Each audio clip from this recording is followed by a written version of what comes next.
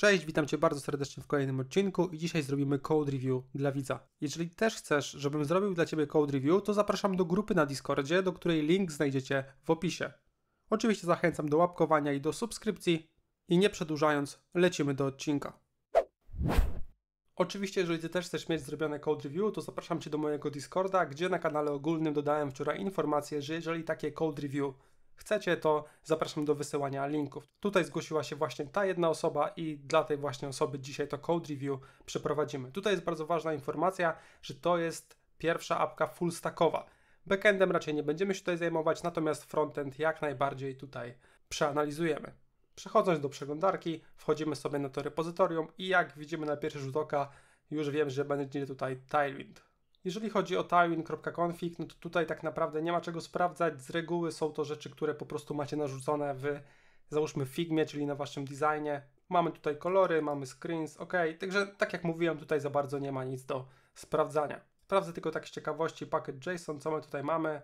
Ok, czyli mamy testy, mamy Axiosa, mamy Firebase'a, w dev dependencies mamy Tailwinda. Ok, no to pierwsza rzecz, którą bym zrobił, to dodałbym Prettiera oraz Slinta. Wspomogłoby to nam naszą pracę, potem jeżeli chcielibyśmy to rozbudowywać, to po prostu ułatwiłoby pracę z innymi programistami. Następnie mamy git ignore, e, tutaj mamy node modules, ok, build, wszystkie envy, ok. Także to wygląda solidnie. Przejdźmy do folderu src, następnie do najciekawszej rzeczy pewnie dla mnie, czyli folderu components. Tutaj pierwsze co mi się rzuca po prostu w oczy to jest to, że komponenty nie są podzielone na mniejsze jakby struktury i mnie to jakby zawsze kuje, ale to po prostu mnie. To już zależy od tego, co wy robicie, jak wy wolicie. Ja na przykład zawsze dzielę to na atomic designy, czyli atomy, molekuły, organizmy i tak dalej. Kolejna rzecz bardzo ważna, którą się stosuje chyba zawsze, to nawet niezależnie od tego, czy macie atomy, molekuły i tak dalej, Chodzi tutaj o to, że warto byłoby każdy komponent zawrzeć w jednym folderze. Z bardzo prostego względu. Jeżeli potrzebowalibyśmy do kategorii field jakiejś funkcji, która miałaby nam usprawnić pracę, a nie byłaby potrzebna w, w, żadnym innym komponencie, no to warto byłoby dodać na przykład plik kategorii field.utils i tam wrzucić tą funkcję i to by już naprawdę nam fajnie uporządkowało kod. Zobaczmy jeszcze na szybkości jak wygląda SVG Icons. Tutaj mamy ikonki, Ok, i pierwsze, co mi się tutaj rzuca w oczy, ciekawe, czy w innych ikonkach też tak jest. Ok, czyli wykonujesz zwykły zapis funkcyjny i jakby z reguły wykonuje się po prostu funkcję strzałkową. W tym momencie akurat funkcja strzałkowa bardzo by siadła, ponieważ nie musiałbyś używać słowa kluczowego return i moim zdaniem akurat tutaj jest to błąd, powinieneś użyć funkcji strzałkowej i zwracać to automatycznie po prostu dzięki niej. Jeżeli chodzi o inne pliki, to tutaj wszędzie widzę, że błąd jest ten sam. Kolejny taki tip, e, bardzo fajny, ja też jak się go nauczyłem, to miałem takie, o wow, fajnie, że to tak działa. Jeżeli tutaj macie path i macie w nim fill, a następnie tutaj macie zdefiniowane w ten sposób kolory, to ciężko Wam to jest kolorować. Natomiast możecie ten zapis zmienić na current color. I dzięki temu, jeżeli nadacie kolor, czyli regułę w CSS-ie po prostu kolor i dacie tam jakikolwiek inny kolor, to ta ikonka też właśnie zmieni ten kolor. Z tego co zauważyłem, to tutaj w każdym pliku mógłbyś to zrobić, bo ty masz kolor biały, Tutaj mamy też jakiś kolor. Tak, czyli oczywiście nie musisz tego robić, natomiast to usprawniłoby Ci pracę i mógłbyś te ikonki wykorzystywać w każdym komponencie, w jakim byś chciał. Przejdźmy do komponentu board, czyli tutaj widzę, że wszędzie będziesz używał po prostu tego słowa kluczowego function i tak będziesz definiować funkcję. E, no okay. tak jak mówiłem, w tamtym przypadku jest to błąd i z reguły też raczej nie używa się tych funkcji e, w projektach. Tutaj zdefiniowałbym sobie aliasy, czyli wszystkie inne komponenty, wszystkie inne rzeczy importowałbym za pomocą aliasów. To w przyszłości usprawniłoby Ci pracę, pomogło na przykład do refaktoryzacji, jeżeli taka byłaby konieczna i na pewno skróciłoby Ci aliasy w jakichś specyficznych przypadkach. I teraz tak, tutaj mamy rzeczy, które mi się nie podobają. Po pierwsze, wystarczyłoby tutaj wpisać to za pomocą cudzysłowów. Nie trzeba tutaj używać tych klamerek. Jakby nie wykorzystujesz potencjału tego, że możesz tu wkleić jakąś zmienną. Nie jest to wykorzystywane, więc jak najbardziej trzeba usunąć te klamerki. Następnie mieszasz tutaj technologię. To znaczy, oczywiście można umieszczać style, natomiast jeżeli używasz Tailwinda, no to po co? Pokażę Ci przykład. W Tailwindzie height ustawiamy za pomocą klasy H. Natomiast możemy też tam wstawiać piksele. I możemy to zrobić w ten sposób, że piszemy H, następnie myślnik i otwieramy nawiasy kwadratowe. I tutaj w tym przypadku wystarczyłoby wpisać Twoje width. I w ten sposób nie dzieliłbyś się na dwie różne technologie. To znaczy, wiadomo, to jest po prostu CSS, natomiast fajnie jest to tak jakby automatyzować i pisać wszystko w jednym stylu. Następnie tutaj mamy zwykłe klasy, więc jest OK, tutaj też klasy. Tutaj wykorzystujesz .enva do dodawania zdjęć. Ciekawe, natomiast tutaj jest jedna rzecz, która mi się nie podoba, czyli za pomocą tagu img wykonujesz SVG. To nie jest w ogóle zoptymalizowane. Powinieneś ogólnie taką ikonkę wrzucić tak samo do ikonek tutaj i w ten sposób to wypisać. Teraz najważniejsza rzecz, o którą ja bym się przyczepił, czyli tak naprawdę tutaj się powtarzasz. W każdym elemencie masz trzy elementy, nawet cztery, w których wykorzystujesz kategorię field, potem masz strukturę, że masz trzy game field. Powinieneś stworzyć tablicę, w której zdefiniujesz sobie wszystkie te zależności i po prostu potem to zmapować. Chodzi tutaj o to, żeby nie powtarzać samego siebie i dzięki temu na pewno wyglądałoby to bardziej powiedzmy pro, a na code review nikt by ci nie zwrócił żadnego błędu. Kolejna bardzo ważna rzecz odnośnie właśnie tego case'u jest taka, że wtedy usprawniasz sobie refaktoryzację tego kodu, bo w tym momencie, jeżeli chciałbyś coś zmienić w każdym z pierwszych elementów, to musiałbyś przeskakiwać i tutaj coś pisać. Jeżeli dasz tutaj tablicę i dasz funkcję map i zwrócisz te wszystkie elementy, to wystarczy, że zmienisz coś tylko w jednym miejscu. Lećmy dalej. Mamy kategorię field. Tutaj ja z reguły, to jest wiadomo kosmetyka i zależy jak się umówisz, natomiast jest nawet taka zasada w Slincie, że wymagana jest, że wymagany jest enter przed każdym returnem, czyli dajesz sobie tą zmienną, następnie tutaj klikasz enter. Tutaj widzę masz ten sam case z hate co w poprzednim komponencie, no i to radziłbym poprawić. Tutaj, jeżeli chodzi o zdjęcie, to wszystko wygląda poprawnie do tego momentu. Nie wiem, dlaczego tutaj są drukowane litery, to możesz mi odpowiedzieć w komentarzu. No i ogólnie, jeżeli chodzi o HTML-a, to ja jestem tutaj zdania, że nie powinniśmy tam zostawiać żadnych pustych enterów, bo tak naprawdę w JSX-ie to nic nie zmienia, a wizualnie też dla mnie osobiście mi to nic nie zmienia, więc ja tutaj tego nie zostawiam. Jeżeli masz pusty tagi class name, no to ja bym je usunął. E, po co one tutaj są, tak naprawdę nie wiadomo, a tak naprawdę zaprzątają Ci teraz głowę i pewnie się zastanawiasz, po co tutaj to zostawiłeś. Mamy komponent champion list i tutaj już troszeczkę mamy więcej e, z jakiejś mechaniki. Pierwsze, co mi się rzuca w oczy, to oczywiście tutaj importy, czyli powinieneś użyć aliasów, ale to już mówiłem.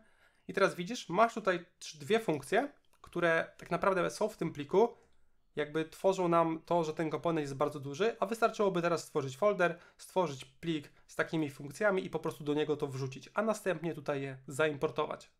E, mamy tutaj przykładowy plik, jakby nie musisz na razie się skupiać, co on robi. Ja skopiuję teraz tą funkcję i wkleję ją tutaj. Pierwsze, co bym zrobił, to tak jak mówiłem, tutaj wcisnął Enter.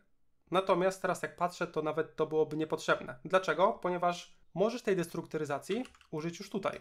Czyli z query destrukturyzujesz sobie o, to w ten sposób i dzięki temu usuwasz tą linijkę. Teraz używamy funkcji strzałkowej, więc usuwasz to, usuwasz to, usuwasz słowo kluczowe return. I teraz w tym momencie zostaną Ci zwrócone, zostanie Ci po prostu zwrócone to wszystko, tutaj miałeś, ale bez tamtego słowa kluczowego, czyli już pozbyłeś się jednego zagnieżdżenia.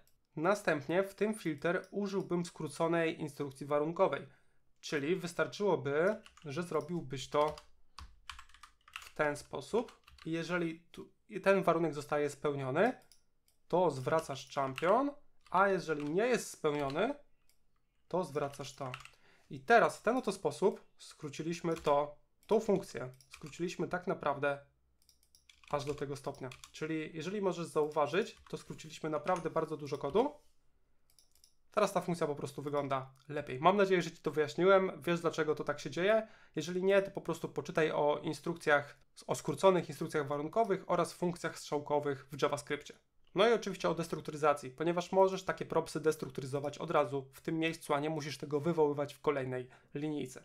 Nie jestem teraz pewien jednej rzeczy, to musielibyśmy sprawdzić, natomiast nie mam do czasu, więc po prostu zostawiam Tobie pracę domową. Natomiast wydaje mi się, że wystarczy, że tutaj wkleiłbyś to w ten sposób. Bo jeżeli to dalej jest stringiem, no to tutaj też zostanie zwrócony string. To tyle w tym przykładzie, lećmy dalej. Następnie to miejsce też można zestrukturyzować od razu tutaj. Kolejna rzecz, tej zmiennej nie wykorzystujesz tak naprawdę nigdzie oprócz returna, więc możesz po prostu zwrócić o to. Nie potrzebujesz tworzyć kolejnej zmiennej, jeżeli nie wykorzystujesz jej w dwóch miejscach. Tutaj masz parametr nazwany champion. Możesz to zdestrukturyzować i użyć po prostu ID. Już pokazuję Ci, jak to zrobić. Czyli mamy coś takiego, mamy taką funkcję, tutaj masz champion. Wystarczy, że zrobić to w ten sposób. Tutaj też możesz to zdestrukturyzować, natomiast nazwy nie powinny być takie same, więc tutaj odwołujesz się do ID, a potem, nie wiem, możesz na przykład napisać result ID ten oto sposób podstawiasz to tutaj. Następnie mamy use effect i tutaj Na pewno usunąłbym te klamerki i usunął tu słowo kluczowe return, bo nie jest tutaj w ogóle potrzebne. Następnie tutaj dałbym jakiś enter. Do tego tutaj przypisujesz sobie do tej zmiennej wywołanie tej funkcji OK. Tak naprawdę możesz pozbyć się nawet tej zmiennej i wywołanie tego wrzucić w to miejsce. Też by było to jak najbardziej w porządku. Następnie wykonujesz metodę dispatch i tworzysz to w ten sposób OK. Jeżeli chodzi o HTML, a tutaj mamy champion, OK. I teraz ja bym użył od razu destrukturyzacji, czyli destrukturyzowałbym sobie key, id e, oraz name. Tutaj oczywiście usunąłbym enter.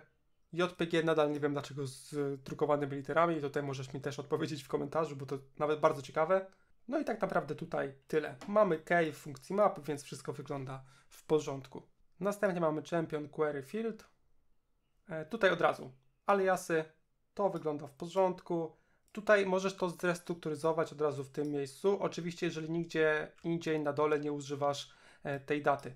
Wystarczy, że zrobisz to w ten sposób. E, pokażę Ci to po prostu, czyli skopiuję to, a następnie tutaj robimy to w ten sposób, że tutaj dodajemy dwukropek, a następnie otwieramy klamerki i tutaj destrukturyzujemy to, co mamy w data. Oczywiście musisz pamiętać o tym, że wtedy data już nie będzie działać. Czyli jeżeli gdzieś indziej w tym komponencie wykorzystujesz to słowo kluczowe, no to ono już nie będzie przekazywać Ci tych elementów. E, tutaj mamy niepotrzebną spację, następnie mamy selecta, ok. Tutaj mamy zwykłe klasy, mamy ID, mamy value, to wygląda w porządku. Wszystkie teksty statyczne, które masz w plikach, stworzyłbym jakiś do tego oddzielny plik i po prostu tam je umieszczał. Raczej nie chcesz, po prostu nie jest to wskazane, przechowywać tekstów w Twoich komponentach. Tutaj oczywiście jak to ja usunąłbym Enter, tutaj masz class name text white, a nie masz żadnego tekstu, więc to wydaje mi się, że jest do wyrzucenia. Tutaj ten tekst też do zewnętrznego pliku i to też jak najbardziej z funkcją entries wygląda bardzo fajnie. Ok, lećmy dalej. Mamy plik champion query list. Nie wiem, czy się powtarzać, ale tutaj mamy oczywiście aliasy, więc e, to od razu u mnie to jest bardzo widoczne, więc ja od razu to poprawiam. Tutaj mamy niepotrzebne słowa kluczowe, czyli te dwa słowa kluczowe return, ponieważ to od razu tego się możesz pozbyć. Nawet dziwi, dziwi mnie to po prostu ten widok. E, dawno takiego widoku nie widziałem, bo po prostu w pracy się jakby na to bardzo zwraca uwagę. Więc czasami nawet teraz jak na to patrzę, to się zastanawiam, Jezu, a może to tak powinno być. Natomiast nie, powinieneś usunąć tutaj te klamerki i dopiero potem zwrócić tutaj ten cały element. Oczywiście, to słowo kluczowe return przydałoby się wtedy, jeżeli tutaj wykonywałbyś jeszcze jakieś operacje. Natomiast nie wykonujesz, więc powinieneś to usunąć. Następnie mamy tutaj przyciski. To, co mi się od razu rzuca w oczy, to to, że każdy przycisk powinien mieć type. Mamy type button albo type submit. W tym przypadku każdy z tych przycisków powinien mieć type button. Lećmy do kolejnego pliku. Mamy tutaj komponent champion search by name, ok. E, mamy use state, dwie jego instancje, w porządku. Tutaj dodałbym jakieś entery, żeby to troszeczkę lepiej wyglądało.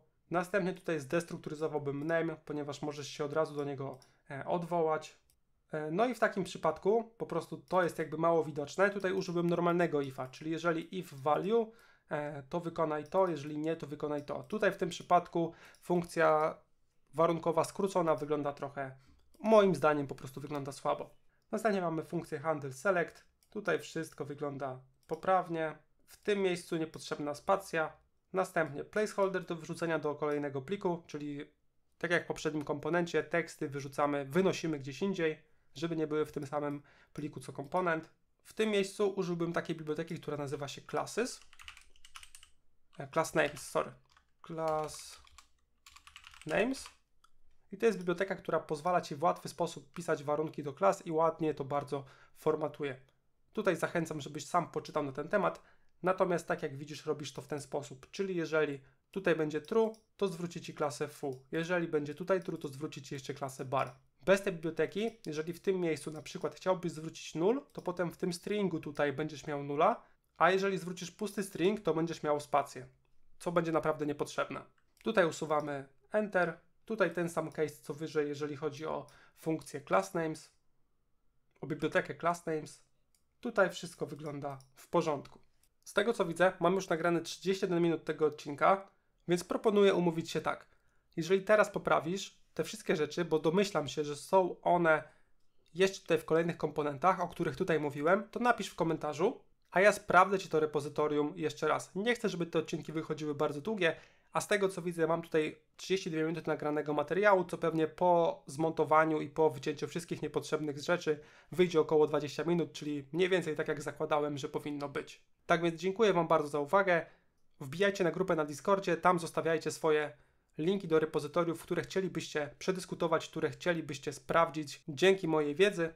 No i jeszcze raz dziękuję Wam bardzo za uwagę i zapraszam do kolejnego odcinka. Trzymajcie się, cześć.